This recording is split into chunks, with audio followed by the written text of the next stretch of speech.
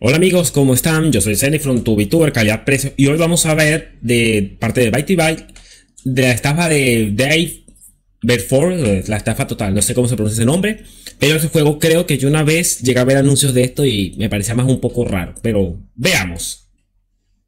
Hoy Mm. vamos a retroceder en el tiempo. ¿Cuánto Una tiempo? pasada, más sencilla, pero también más oscura, donde la Mm. desinformación y las mentiras inundaban a la ciudadanía. Ah, eso es 7 de caro. diciembre de 2023. Ah, no hace mucho. juegos fiasco total. en los últimos años, ya que fue uno de los juegos que más usuarios añadieron a la lista de deseos de Steam. Y entonces, The Day Before sale al mercado para sorpresa de todo el mundo. El juego resulta ser un desastre, un fracaso y se Uf, convierte en el juego peor valorado de Steam. Con Casi nada, señor, casi nada. del 75% de los jugadores al día Hmm. siguiente de su lanzamiento porque es sencillamente una putísima mierda injugable.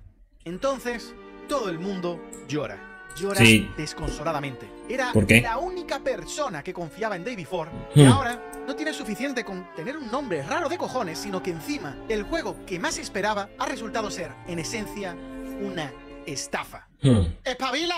¡Coño! Para los que estáis un poco perdidos y no conocéis... Bueno, les voy a dar un consejo, señores. Si en un videojuego cuando lo presentan nunca muestran gameplay, solo muestran video, solo ponen video, preocúpense, señores, porque eso quiere decir que tal vez es un fraude.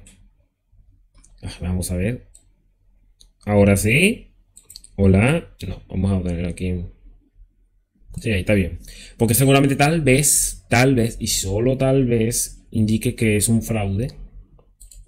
Y la historia de este juego, The Day Before, básicamente, es un MMO de mundo abierto post-apocalíptico donde nos enfrentaremos a otros supervivientes mientras recorremos una enorme ciudad completamente Casi nada. infestada de zombies mientras looteamos Por cierto, sí, ya sé que estoy reaccionando tarde a este vídeo, pero no tenía tiempo.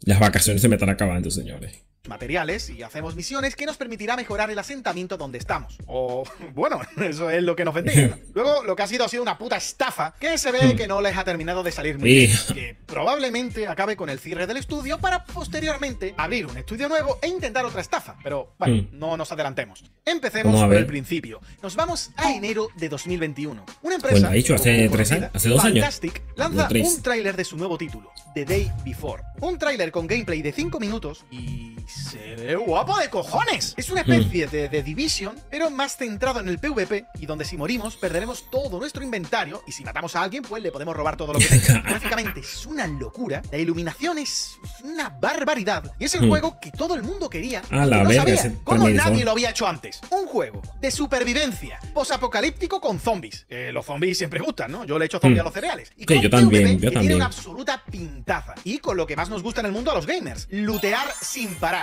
Da igual, Hmm. lo que sea, pero lootear. ¿Eh? Lo que sea. O no, ¿eh? ¿No? ¿Cómo te gusta lootear, eh? Ujú. Desgraciado. A ver si loteas a alguien que te quiera, anda. Pues este Sí, vamos a ver si consigo lotear a alguien que me quiera, porque está difícil. Este juego parece que, que es la polla, ¿no? Vamos a ver, ¿por qué? Toma todo mi dinero, ¿cuánto quieres? ¿40 pavinis? ¿50 pavinis? ¿60 pavinis? Todo tuyo, tómalo. ¿Cómo lo quieres? Hmm. PayPal, billetes pequeños, criptomonedas. Y espérate, que todavía falta lo mejor. El juego ¿En qué ya sentido? lleva 3 años de desarrollo y estará listo para salir. en Eso fue mentira, esa vaina fue mentira. 2022. ¡Let's fucking go! Encima van y se marcan la vaciladita al final del trailer.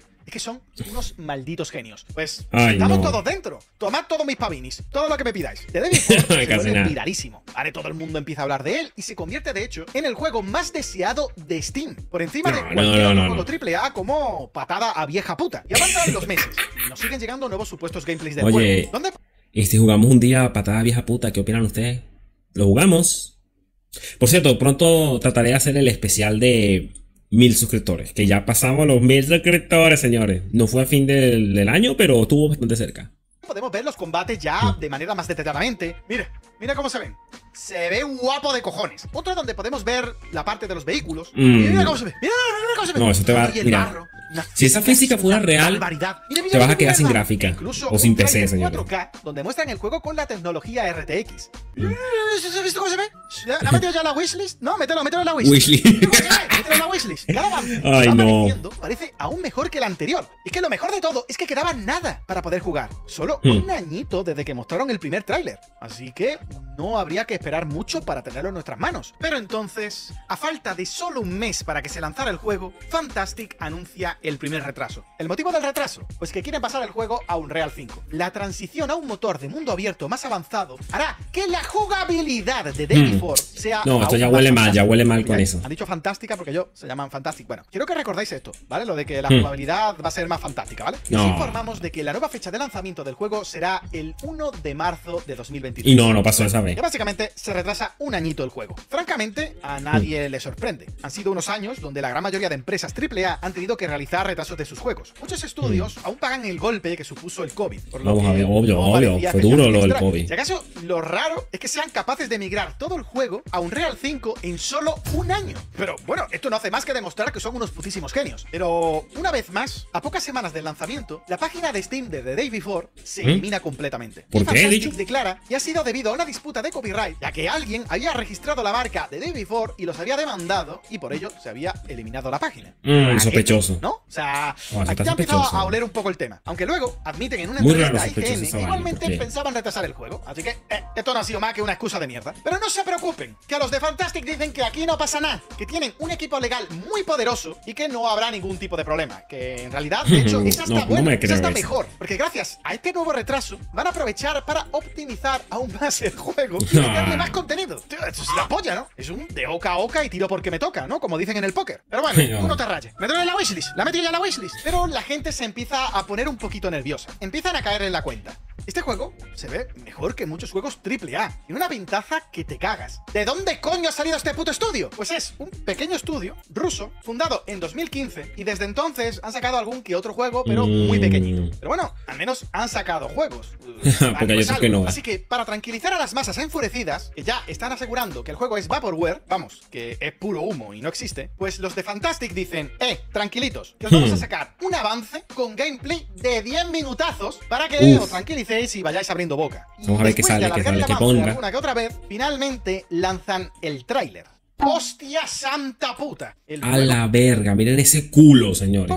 Parece otro cabrón. Un mundo completamente vacío. bueno es el un culo, ¿no? de 10 minutos donde se ven cuatro puñeteros zombies. No, que además vale. No representan ningún tipo de peligro. Parece que a lo único que se han dedicado es a modelarle el culo a la Ah, protagonista. sí, Los ya lo gráficos, noté, ya lo noté. Bueno, eh, los gráficos Es que, no sé, vamos a estar claros, la mayoría miró primero el culo que cualquier otra cosa. Si hubiera estado de frente, hubiera tenido los pechos grandes, todo el mundo hubiera mirado los pechos.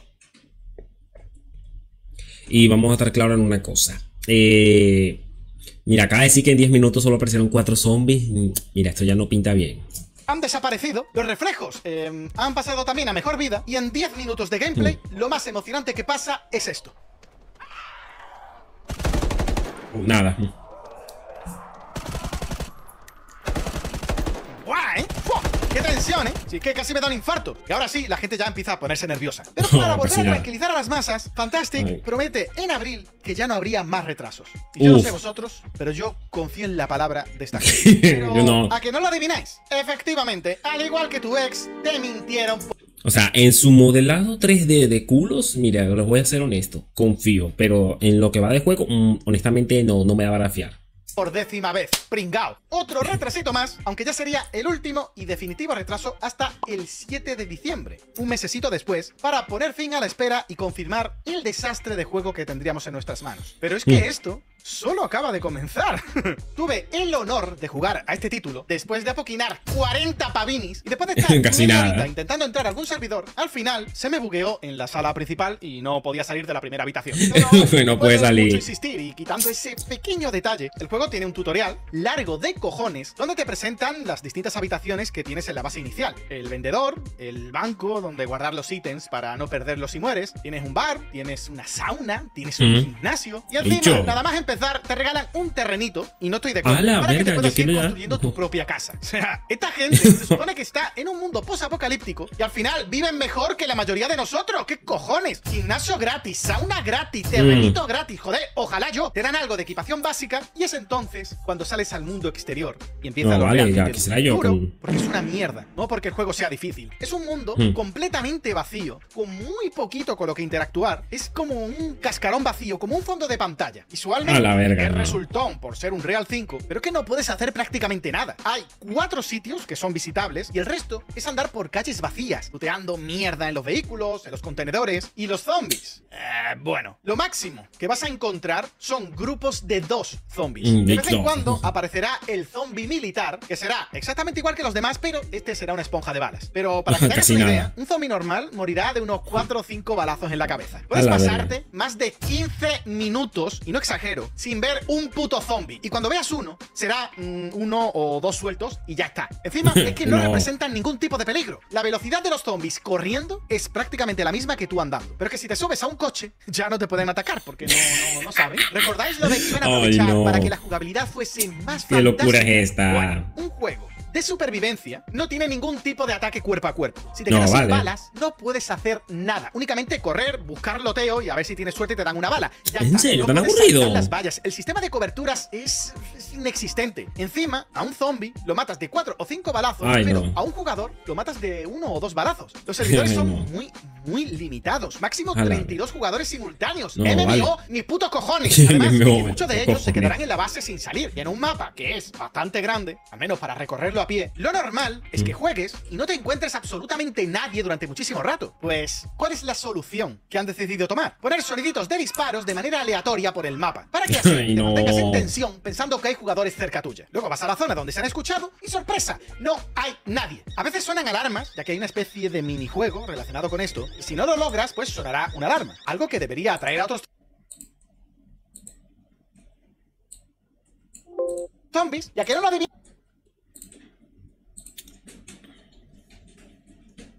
pues sonará una alarma. Algo que Hmm. debería atraer a otros zombies, ya que no lo adivináis. No viene nadie. Las alarmas no, viene nadie, sirven para nada. Solo para que te acabe doliendo la cabeza porque encima se buguean. En fin, no me quiero No, meter mucho más con detalles de este Oye, juego. esto está en, en 720 porque... Va. Sí. Sencillamente no lo merece. Es un Disculpen, no lo pongo en de juego 1080 porque si no se me buguea la computadora. No me creo que esto les haya llevado mucho a hacerlo, porque es que le Mm. faltan muchas, pero que muchas opciones básicas. Y el ¿Cómo juego realmente Vamos a ver. tres putas mecánicas contadas y ya está. Pero bueno, quedaos con que el juego es una absoluta basura. Porque ahora vamos con el tema aquí de verdad, que hay Mm. mucho que sacar de todo esto. ¿Qué es lo que ha pasado con The Day Before? ¿Realmente el juego llegó a existir? ¿Ha sido un downgrade? Dijeron, mira, ya que nos inspiramos en The Division, pues vamos a hacer como en The Division también, ¿no? Y vamos a hacer que el No. juego final no tenga nada que ver con lo que enseñamos. Vale, Mm. este juego se anunció oficialmente en enero de 2021. Por aquel entonces ya llevaban, Ujú. en teoría, tres años trabajando en el juego. No, era mentira, Por ¿verdad? ello el título saldría en 2022. Pero debido a que la panda de cutres estos han dejado los archivos tal cual sin modificar, se sabe que esta gente no ha modelado una mierda en este juego, sino que prácticamente todo son assets comprados en la tienda oficial de Unreal. Un asset es un activo, un recurso para tu juego, que puede ser pues modelos 3D de escenarios, personajes, Ah, bueno. Oye, tal- etc. Pues ha visto que Tal vez esto me sirva para cuando. Porque yo una vez. Yo tengo pensado hacer un juego alguna vez. Así sea algo así, pero tal vez esto me sirva. No sé. O seré yo soñando mucho. el mapa es un asset comprado tal Porque tú sabes que yo estoy estudiando ingeniería informática, ¿no? Pero bueno. Era programación para este juego, pero no tenía de otra. Que cuesta unos 300 pavinis y que no han tocado mucho que digamos. Pues este asset fue puesto a la venta oficialmente en agosto de 2021. ¿Y cómo puede ser esto, Baiti? Si el Ay, juego no. se anunció en enero de 2021. Llevaban supuestamente tres años de desarrollo y ese asset no estaba a la venta hasta agosto de 2021. ¿Cómo es posible? Excelente pregunta, Baiti. Pues primero, Ujú. confirmar que los que pusieron el asset a la venta no son los mismos que han hecho el juego, ¿vale? Por si te caíste de la cuna de leche. La Obvio, cosa es que- se puede ver que hay en torno a 10.000 dólares en assets comprados, desde el Mm. sistema de diálogos, eh, la cámara en tercera persona, A las la animaciones, Mm. el sistema de construcción que tenemos al principio del juego, entre otros cientos de assets que estaban tal cual en los archivos del juego. Y aquí habría que aclarar una cosa, comprar assets y utilizarlos no tiene nada de malo. O sea, lo complicado de cuando compras tantísimos assets, que estamos hablando de más de 100 packs de assets, es que luego todo eso tiene que cuadrar, que se vea con la misma estética, que no desentone. Y en este juego, como estaba todo vacío, pues, bueno, no desentona Ay, no. mucho. Eh, ya hay que ser desgraciado para pillarte más de 100 packs de assets y que esté todo vacío. Pero son recursos Hmm. que muchos estudios utilizan y como tal cual no tiene nada de malo. O sea, si te sale más barato adquirir el modelo de un garaje 80, de coches, 90 de esos de que dólares. lo modele Verga. alguien en tu empresa y eres capaz de que eso luego quede integrado bien en el juego, pues lo lógico es comprarlo. ¿no? El tema aquí es que han adquirido tantos, pero tantos assets que me hace preguntarme si realmente han hecho algo ellos, ¿no? Porque hasta el menú y el sistema de inventario verga. es un asset y que encima no han cambiado 180 nada porque lo normal dólares, es no, vale. comprarlo y luego pues quitar cosas, añadir cositas nuevas. Sí, adaptarlo, ¿no? No, o sea, no han cambiado nada. Comprado A la y verga, añadido no. tal cual absolutamente todo. Y luego, bueno, hay otra tanda de assets que no son comprados, por supuesto. Y te puedes ahorrar dinero en estas mierdas de juego, pues te lo ahorras, ¿no? Hay otros no. cientos que son gratuitos, obviamente. Por ejemplo, este.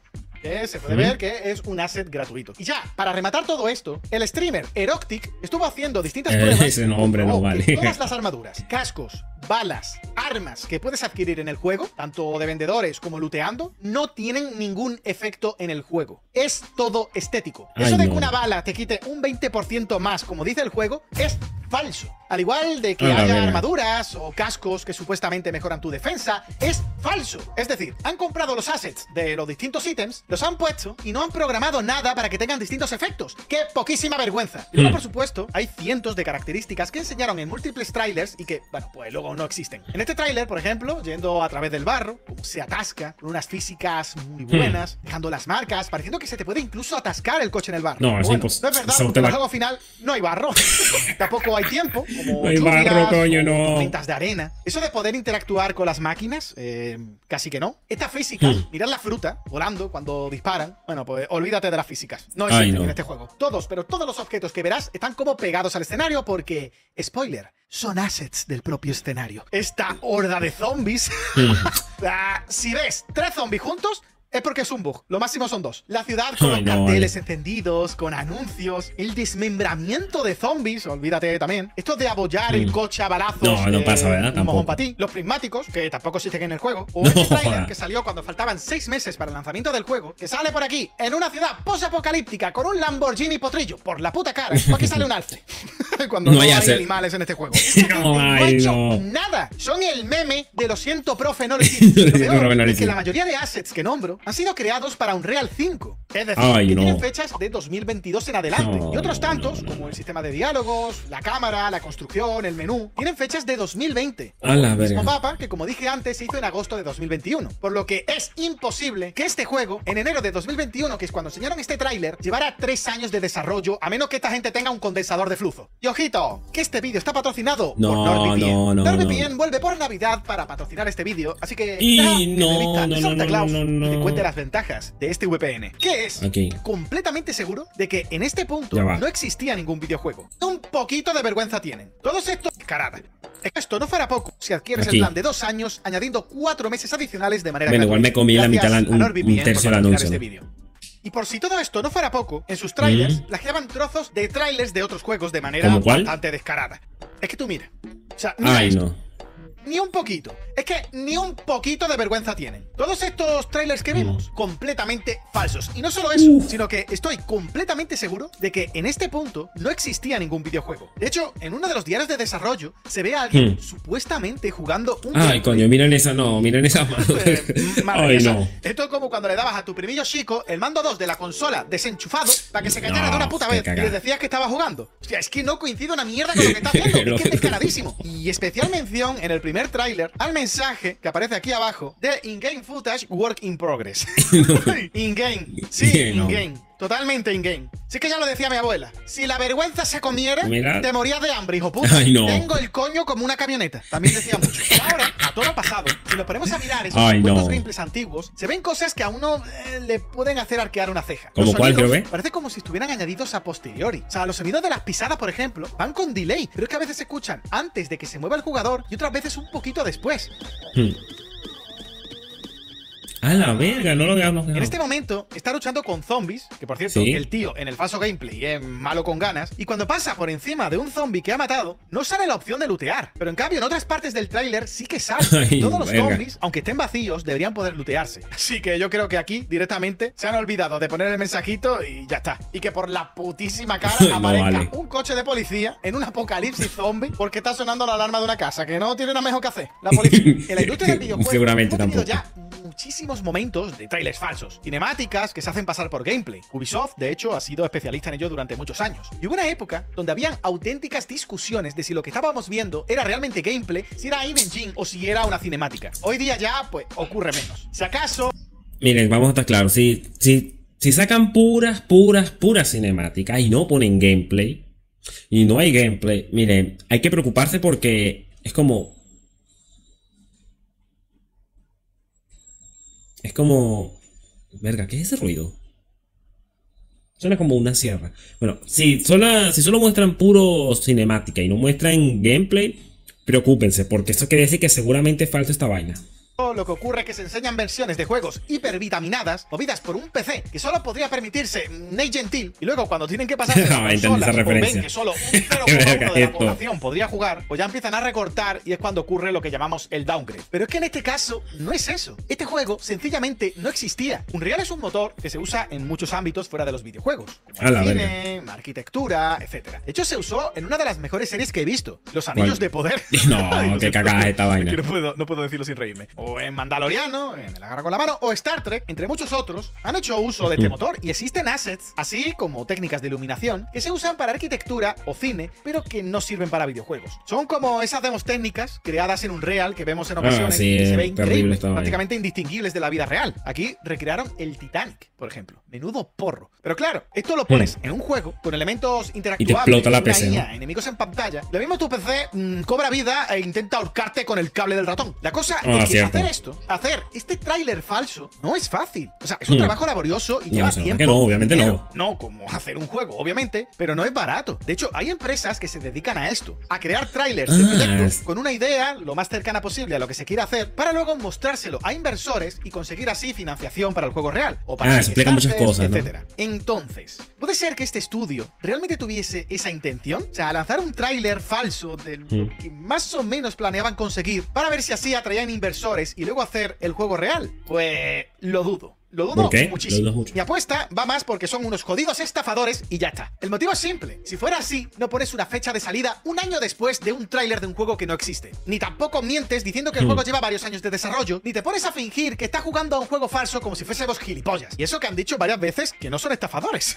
Por otro lado, eso es lo que diría un estafador. Bueno, muy cierto. Tan solo tres días antes del lanzamiento, con un comunicado, ya tirando balones fuera, y diciendo cosas como que si eres creador de contenido, que de nada por conseguir, gracias a ellos visitas y nuevos suscriptores. Gracias, corazón. ¿Esta gente de dónde ha salido, no? ¿Cuáles fueron sus proyectos anteriores? Uh. Bueno, el primero fue The Wild Hate, un juego ¿Qué es esto? Únicamente yo jugué hace años, ya que vi que era de supervivencia y cooperativo y pues, no sé, me llamó la atención. Ya sabéis que soy dado a ese género. Y al final pues, acabé pidiendo el reembolso por ser una tremenda mierdísima de juego. El juego se lanzó en un Kickstarter donde sacaron unos 60 mil mm. dólares. Y en cuanto salió el juego en Early Access, no tardó en morir. O sea, prácticamente nadie jugaba en su salida y Fantastic se lo quitó de encima a los pocos meses, vendiendo los derechos del juego a su editor y lavándose así las manos. Luego sacaron Dead Dozen, un juego multijugador estilo Left 4 Dead, que salió completamente roto, con mal rendimiento y que su pico de jugadores fue de 81 personas en su lanzamiento. Durísimo esto, ¿eh? A los tres meses decidieron prácticamente abandonar el juego. El título, por cierto, también salió primero en un Kickstarter. No queda mucha información sobre esto porque la empresa ha borrado todo rastro de esto en su página web y también el Kickstarter, pero tuvo varias ediciones mm. disponibles y he podido hablar con una de las personas que participó en el Kickstarter y estaba todavía en el Discord privado para mecenas. Llevan por lo visto ahí años y los de Fantastic lo que hacen es dar excusas para no admitir que el juego está muerto y que tampoco van a hacer mucho por intentar arreglarlo. Y hace unos días, en mitad de toda esta tormenta, han aparecido de nuevo para pedir disculpas y como compensación, ya que el juego, por lo visto, no lo van a arreglar, es regalarles a todos una clave de Prop Night y de Day Tócate la polla. Esto ya parece una sí, hay que Solo nos queda otro último juego, el Prop, Night, una especie de Dead by Daylight que tuvo críticas intermedias en su lanzamiento. No es que sea bueno, pero en Steam tiene críticas mixtas, que yo creo que para esta gente, la verdad que está muy bien, no se le puede pedir más. De hecho, aún hay mucha gente que lo juega, pero tiene muchas críticas respecto a que tiene muchos bugs, que no está nivelado, es muy fácil hacer trampas, y el estudio parece que no quiere arreglarlo, pero al menos el juego no se cae a cachos, así que bueno, críticas mixtas. Y nos acercamos ya al final de la historia. Cuando estaba este vídeo ya prácticamente cerrado, la empresa detrás de Day Before, Fantastic, cierra solo cuatro días 28 después de lanzar Ya, el ¿cuánto juego. Ah, Esto supuestamente minutos. debido a que David Uf. Ford no ha sido rentable y no tienen fondos para continuar. por Pero que rentable, ¿qué Chapa mierda? Si salió se gratis, no que se daba. Dicen además que los servidores seguirán activos, cosa que yo dudo mucho que dure más de unos días, y la gente entró un poco Hmm. en pánico porque dijeron también que el dinero que habían recaudado se iría para pagar las deudas que tienen. Y aquí muchos pensaban ¿Cuáles? que ¿Cuáles? su dinero de vuelta y se lo quedarían. Pero entiendo que esto se referirá al Eh. dinero que le ha puesto su Otra vez ponen el culo. Porque si no, no venden, señores. No, no venden. Editora y no tanto por los usuarios de Steam, ya que Valve retiene el dinero Mm. durante 30 días, porque ese dinero no lo han tocado. Y a día de hoy no se puede comprar el juego y si solicitas el reembolso, Valve te lo devuelve, independientemente del número de horas que lleves. Por un mensaje filtrado, podemos saber que el juego vendió en las primeras 24 horas más de 200.000 unidades y cerca del la verga. 50% pidieron reembolsos. Yo incluido. Pero es que es ridículo. O sea, en cuatro días, que tú sepas ya que el juego no es financieramente rentable, no tiene sentido. O sea, no puedes tirarte cuatro o cinco años desarrollando un juego para chaparlo a los cuatro días. Esto obviamente estaba planeado. Y como giro bueno. de los acontecimientos, vemos que el estudio ha cambiado el nombre del desarrollador a 8 Points. ¿Y qué No, coño es joder. 8 Points? ¿Ha vendido los restos a otro estudio para que se haga cargo? No, son lo mismo, ¿verdad? Es más sencillo que eso. 8 Points era el nombre del estudio hace años, que podemos No, ver en el. Kickstarter de The Wild Hate. ¿Por qué han vuelto a cambiarse el nombre a 8 Points? Si es para esconderse, es una gilipollez. O sea, solo hace falta una búsqueda en Google para encontrarlos. La cosa es que Hmm. no es la primera vez que lo hacen. O sea, ¿recordáis el Left 4 Dead pocho este que os dije antes? Bueno, pues hicieron lo mismo. Ocultaron el juego cambiando el nombre del desarrollador a Fantastic, pero jugando con las mayúsculas y minúsculas. Así, Hmm. el juego, al darle clic, no saldría en el historial de juegos de la empresa. Y ya solo nos queda Ay, no. Maitona, otra empresa rusa que ha producido algún que otro juego móvil, nada del otro mundo, y que son los editores de Fantastic. El juego Uy, está totalmente financiado por Maitona, uno de los editores móviles más grandes del mundo, quien verificó que la construcción del juego se estaba cumpliendo según planeamos en nuestro contrato. Son las Uy, palabras de mío. Fantastic en una entrevista. Bueno, lo primero es que de los editores más grandes de móviles del mundo es un poco fumarse un porro. En 2022, Mm. su año más grande, generó 42 millones de dólares, que no está mal, ¿eh? O sea, quien los pillara, pero Eh, vamos a ver.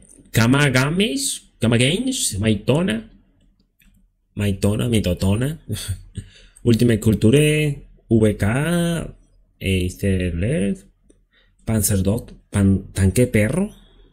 Verga, qué nombre más raro, ¿no? O que está bastante lejos de ser de las más grandes. Y me hacen preguntarme muchas cosas. ¿Estaban engañando a. Maitona también?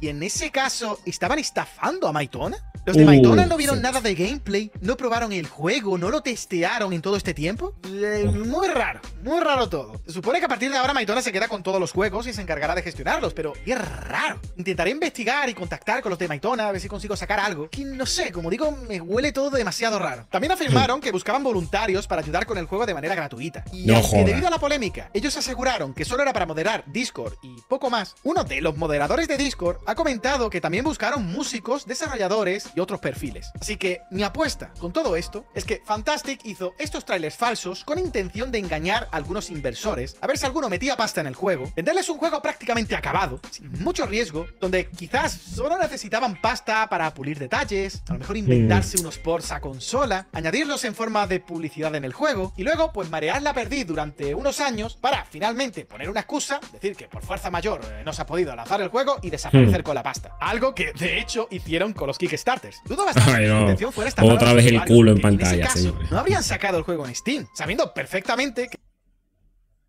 Mm.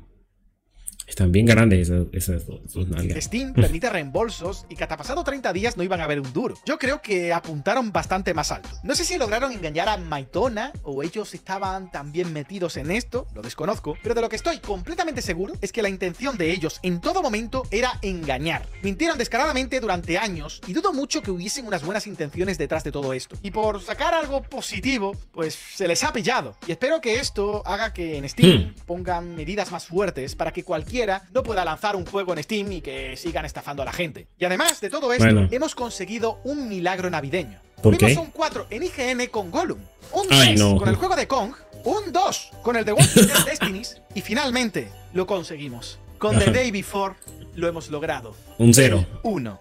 Creo que solo Vamos a ver, imagínense que cuando alguien llega al cero. Ay, por no. esto ha merecido la pena. Este juego es mejor que Patada a la vieja puta. No, no concuerdo. Al revés, al revés. No, no, no. Bueno amigos, esa fue la explicación de nuestro amigo Bitey Bye, del pana Bitey Bye, sobre por qué The David Forest es una mierda.